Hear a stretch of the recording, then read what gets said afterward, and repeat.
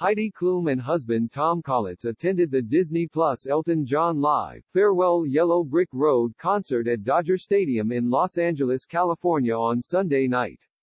Heidi Klum has proved that even stars like her can suffer last-minute wardrobe disasters as she exposed her own trick on Instagram this week.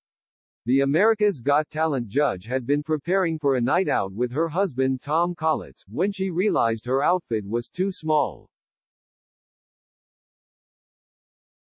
Thankfully for the model, she was with her stylist Yannick Zamboni, who came to her rescue. Heidi filmed her friend talking her through what needed to be done to the glamorous black suit, in order for her to wear it comfortably. In the clip, he could be heard saying it needed to be stretched by 2 inches in order for it to fit. With the help of an elastic, the 49-year-old's pal sewed her trousers to her pants, which was then covered by her blazer. Heidi talked her fans through his plan in a video shared with her 10.2 million followers.